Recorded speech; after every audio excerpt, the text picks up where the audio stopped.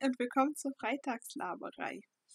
Ähm, als erstes fange ich mal bei euch an zu fragen, hat es bei euch auch so schlechtes Wetter wie bei uns? Bei uns regnet es jetzt, glaube ich, den dritten, vierten Tag am Stück. Obwohl, gestern war mal, glaube ich, für eine Stunde Sonnenschein. Hm, bin ich mir aber nicht mehr sicher. Es fühlt sich an, als ob es schon tausend Jahre her wäre, als, als man die letzte Sonne, Sonnenstrahlen gesehen hat. So war's.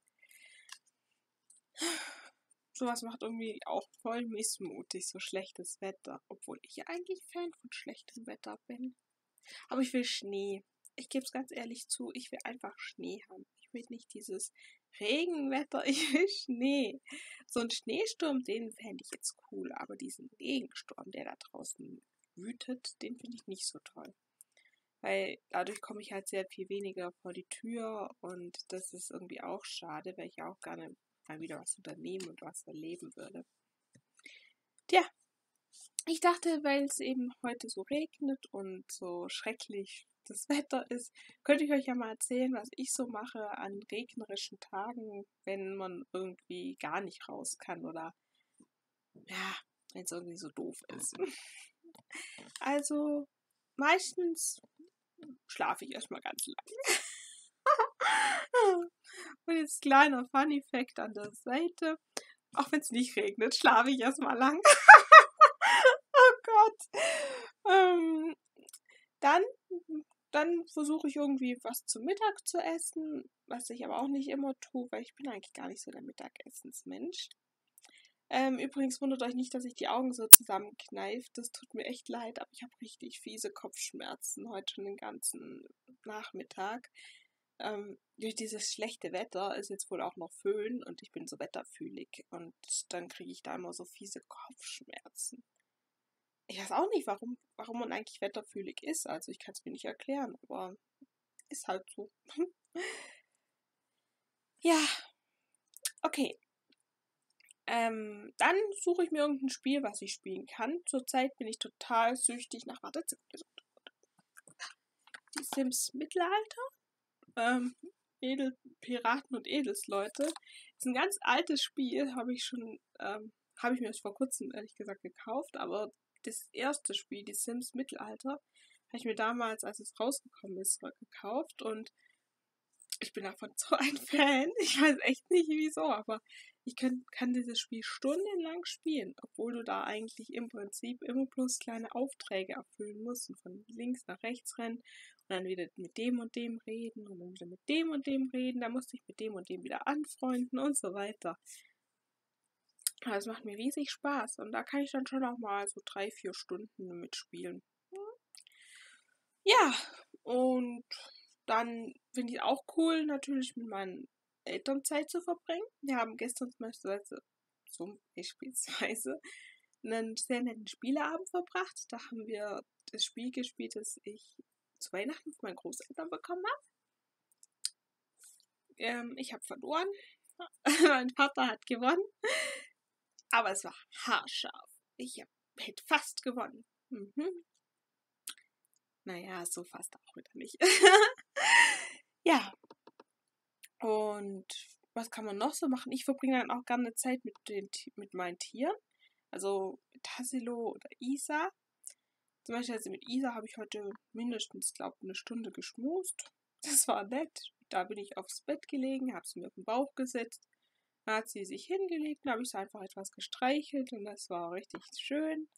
Und vor allem war es auch sehr leise und so haben irgendwie, habe ich es geschafft, sie etwas aufzuwärmen weil ich muss sagen, unsere Wohnung ist etwas kalt. Was daran liegt, dass wir eine sehr alte Heizung haben. Und wenn es dann draußen sehr kalt ist, schafft die den Ausgleich irgendwie nicht. Oder so irgendwas. Auf jeden Fall wäre es da kalt. Und so habe ich dann halt den Hasen etwas anders aufgewärmt. ja, und dann habe ich auch noch Zeit mit meiner Mom. Da bringe ich auch gerne Zeit mit Mom. Da reden wir dann über viele Sachen, Verschiedenes hier und da auch mal über, ja, über Sachen wie zum Beispiel Computerspiele oder, oder sowas wie, sie erklärt mir, wie Mieten funktionieren oder wie Steuer funktioniert und wofür Steuern da sind. Wobei ich noch nicht weiß, wie man eine Steuererklärung macht, fällt mir gerade auf. Ich weiß aber, dass man auf jeden Fall Rechnungen sammeln muss. Und dass das dann irgendwie eingetragen wird. Aber sonst weiß ich da noch nicht besonders viel dazu. Das muss ich dann auch mal irgendwann lernen. Hm. Ach, das sieht immer nach so viel Mathe aus. ich bin kein Mathe-Fan. Okay, ich gebe es schon wieder zu. Ja, dann koche ich mir manchmal auch was Leckeres, sowas wie ein paar Dampfnudeln oder einen leckeren Kuchen oder backe auch mal Plätzchen mitten im Sommer. Das mache ich gerne. oh Gott. Ich habe immer zu den komischen Zeiten Lust auf Weihnachtsplätzchen. Sowas wie, wir haben 40 Grad im Schatten gefühlt und in, in der Sekunde kommt Elena auf die Idee, hm, ich könnte Plätzchen backen. Hm. ja. Oder, oh, hier drin ist jetzt gerade irgendwie, also das Blöde ist, die gan der ganze Tag war es kalt und jetzt bollert die Heizung wie verrückt. Und jetzt wird es hier drin echt warm. Naja, oder ich gucke mir auch gerne mal hier und da einen Film an. Sowas wie Harry Potter, den habe ich noch auf DVD.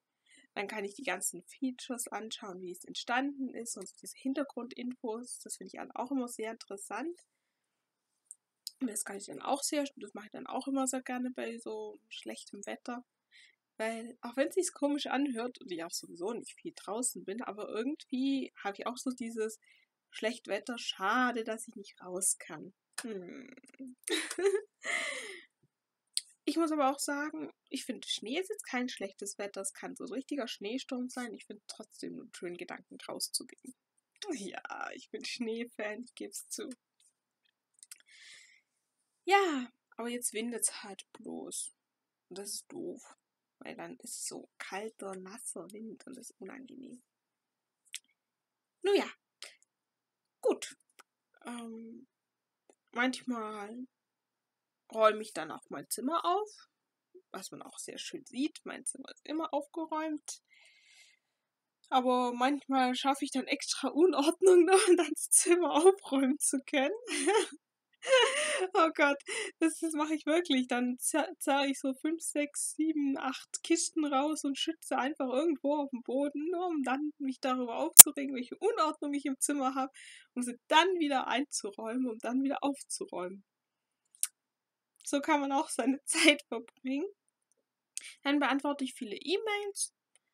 Dann gehe ich auch oft auf eBay Kleinanzeigen. Ich finde einfach immer so interessant, dieses ähm, oder auch bei Spock oder bei Amazon, einfach alle möglichen Online-Händler, einfach mal so zum Gucken, was da alles so gibt und sowas. Das finde ich mir voll interessant.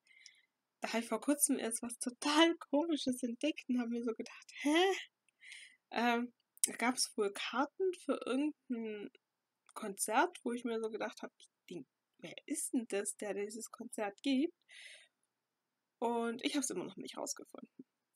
Ähm, ich schreibe dann aber auch die Leute nicht an. Das finde ich irgendwie dann komisch, jemanden anzuschreiben, nur um zu fragen, von wem ist denn das? Und dann, und dann wieder zu sagen, aber eigentlich habe ich ja kein Interesse. Finde ich dann auch schräg. Ja, und dann den Rest der Zeit liege ich meistens auf dem Bett rum und langweile mich etwas. Und freue mich dann drauf, irgendwann ins Bett zu kommen und zu schlafen. Hm. Naja. Das ist so das, was ich eigentlich im Prinzip heute den letzten Tag gemacht habe. oh Gott. Hm. Aber das Schlimmste ist, wenn so schlechtes Wetter ist und ich vom Wetter her Kopfschmerzen oder so habe, dann kann ich auch furchtbar zickig sein. Da kann ich eine richtig fiese Zicke gegenüber meiner Mom sein oder auch gegenüber meinem Dad. Und das ist eigentlich nicht fair, aber ist halt dann doch so. Naja, ähm, ich muss sagen, ich freue mich jetzt auf den Sonntag, weil Sonntag ist bei uns immer Familientag. So ab 17 Uhr verbringen wir viel Zeit dann zusammen in der Familie. Gut, ich durfte immer Freunde früher einladen oder auch heute noch, aber inzwischen bin ich schon so, dass ich sage, ich möchte am Sonntag ab 17 Uhr einfach nur die Zeit mit meinen Eltern verbringen. Manchmal reden wir, manchmal essen wir, manchmal verbringen wir einfach Zeit zusammen und das ist eigentlich was sehr Schönes, weil so lernt man sich immer besser kennen und dann hat man diesen Bonus, den eigentlich kaum jemand anders hat, dass ich meiner Mutter sehr selten eigentlich sagen muss, was mit mir los ist. Sie erkennt an ganz kleinen Kleinigkeiten, wie es mir geht, was mir fehlt, was ich brauche, ob ich hungrig bin, ob ich durstig bin. Aber wie schon im Video, ähm, in einem meiner anderen Videos, gibt es da natürlich auch diese Ratefaktor. Toren, aber was das Schöne für mich ist, ist, ich habe jemanden, der mich versteht, auch wenn ich nichts sage.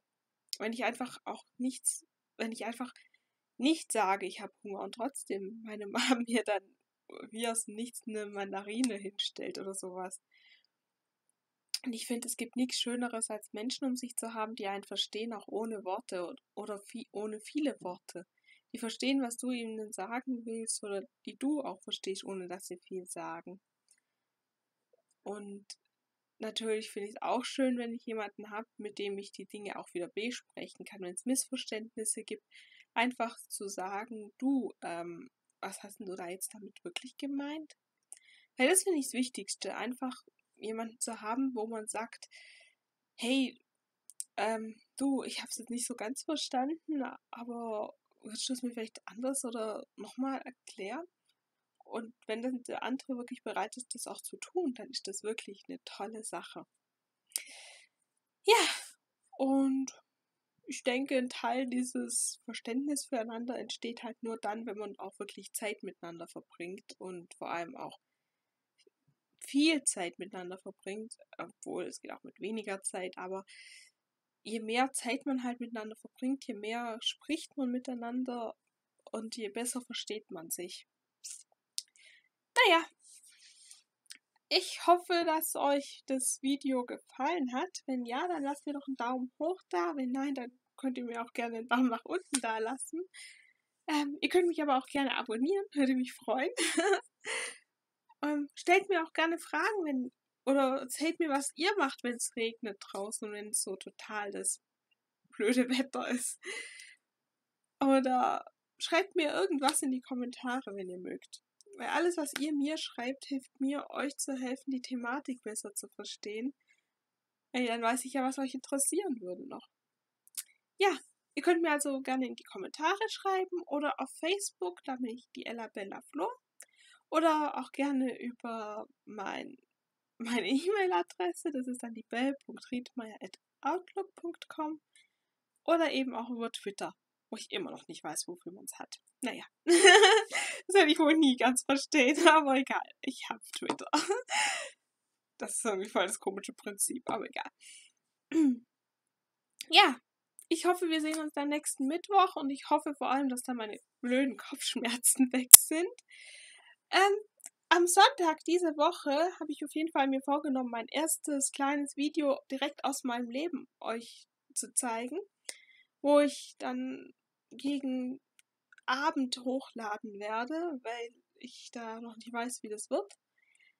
Aber auf jeden Fall kommt diesen Sonntag mein erstes kleines Video mit dem aus meinem Leben. Also, wir sehen uns dann am, am Sonntag und dann wieder am Mittwoch und dann eigentlich auch wieder am Freitag. Also dann, bis dahin, tschüss und habt ein schönes Wochenende. Bis bald. Ciao.